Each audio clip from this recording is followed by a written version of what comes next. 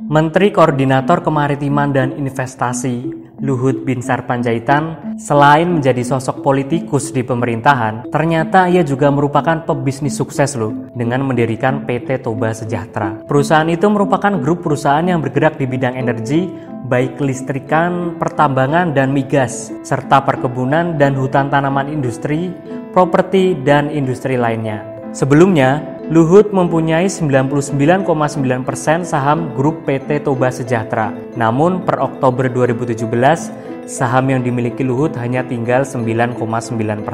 Anak usahanya terbagi menjadi 16 perusahaan yang bergerak di berbagai sektor.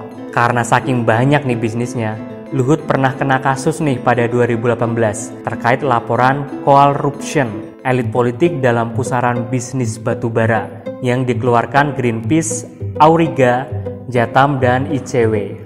Karena diduga ada konflik kepentingan yang terjadi antara karir politiknya dan bisnisnya. Apanya konflik kepentingan? Orang saya sudah nggak ngurus itu lagi sekarang? Itu kata Luhut di kantor Badan Perencanaan Pembangunan Nasional. Laporan bertajuk Corruption mengungkap bagaimana elit politik atau politically exposed persons menyatukan kepentingan bisnis dan politik di sektor pertambangan batubara. Terdapat elit politik dengan konflik kepentingan politik yang besar di bisnis batubara.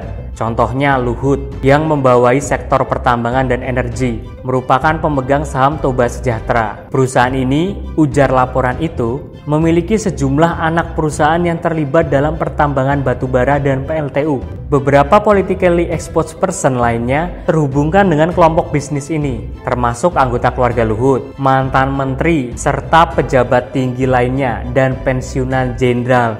Wow! Gila sih. Elit nasional bersekongkol dengan elit daerah dalam bisnis batubara. Ini merupakan lanskap baru di mana desentralisasi membuat proses pengambilan keputusan menjadi lebih politis dan meningkatkan kekuasaan diskresioner para pejabat daerah. Dan kedua hal ini meningkatkan resiko terjadinya korupsi. Kata Tata Mustasya, Kepala Kampanye Iklim dan Energi Greenpeace Asia Tenggara. Sektor batubara telah mendanai dan secara bersamaan mengotori politik dan demokrasi di Indonesia yang merugikan rakyat Indonesia. Menurut Luhut nih, sahamnya di Toba Sejahtera dimilikinya sebelum jadi menteri. Apalagi perusahaan itu sejatinya adalah perusahaan publik. Masa saya nggak boleh punya saham waktu saya belum menteri?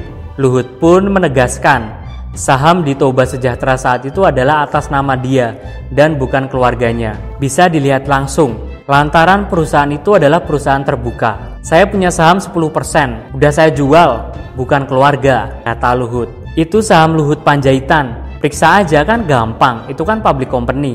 Kenapa bicara yang aneh-aneh? Nah, berikut ini adalah perusahaan yang dimiliki oleh Luhut Binsar Panjaitan. Gak main-main, ada 16 perusahaan yang dia miliki. Yang pertama ada Tobacco and Mining. Dia memiliki anak perusahaan yang bernama PT Toba Bara Sejahtera Tbk, menjalankan tambang batu bara di Kukar. Kemudian, ada PT Adimitra Baramata Nusantara, merupakan konsensi pertambangan seluas 2.990 hektar yang berlokasi di Kukar. PT Indo Mining dengan luas konsesi 683 hektar, juga berlokasi di Kukar. Melalui PT Trisensa Mineral Utama, Grup Toba Sejahtera juga mempunyai konsesi pertambangan seluas 3.400 114 hektar di Kukar. Dan yang terakhir, anak perusahaan Tobacco and Mining ini anak perusahaan Luhut yang terbesar menguasai konsesi batubara di Kukar, yakni 6.932 hektar di mana sudah berproduksi komersial pada 2010. Nah, yang kedua, Toba Oil and Gas. Dalam bidang ini, anak perusahaan yang pertama adalah PT Energi Mineral Langgeng di Madura Tenggara dengan luas 4.567 km persegi. Wah, lalu ada PT Fairfield Indonesia yang didirikan pada 2005 dan merupakan perusahaan bersama dengan Fairfield Nodal, perusahaan seismik Amerika Serikat. Yang ketiga,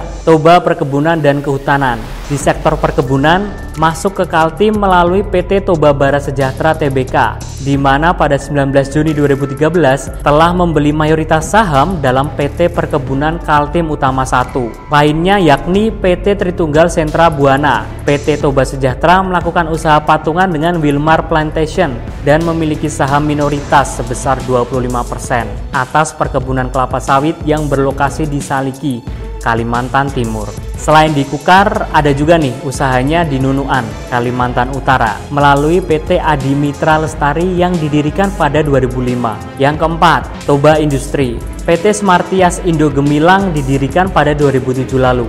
Operasinya melibatkan penjualan dan distribusi KWH meter elektrik prabayar dalam bentuk smart card atau STS meter token untuk listrik perumahan yang disediakan oleh perusahaan listrik negara. Perusahaan milik Luhut ini merupakan pemegang saham minoritas di PT Rakabu Sejahtera, pabrik mebel yang dimiliki keluarga Jokowi. Melalui PT Kabel Citra Nusa, PT Toba Sejahtera memiliki saham minoritas dalam 147 hektar lahan industri yang berlokasi di Batam, Kepulauan Riau. Yang kelima, ada Toba Properti dan Infrastruktur. PT Toba Pengembang Sejahtera memiliki lokasi di kawasan bisnis Mega Kuningan. Toba Pengembang Sejahtera memiliki luas lahan sebesar 1,7 hektar. Wah, gila ya.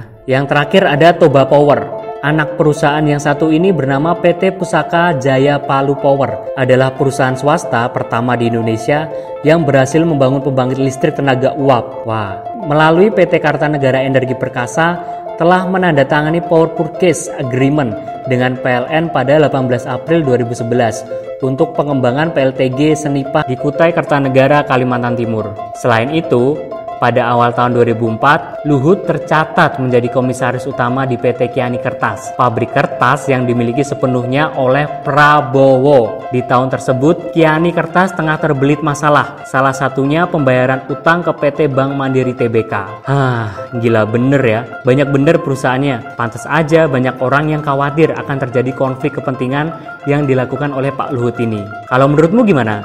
Adakah konflik kepentingan yang terjadi oleh Pak Luhut? Komentar di bawah ya.